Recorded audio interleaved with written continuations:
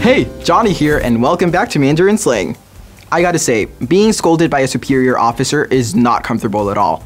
And in Mandarin, this is called 碰钉子.碰钉子.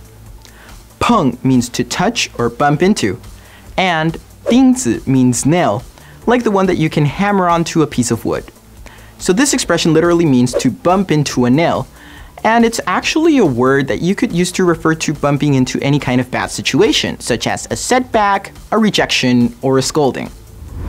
So you could say, 这个工作项目本来就很顺利，但我们最近又碰钉子了, which means this project was originally going pretty well until we bumped into another minor setback. So next time your Chinese friends ask you why you look so down, you can tell them that you 碰钉子了.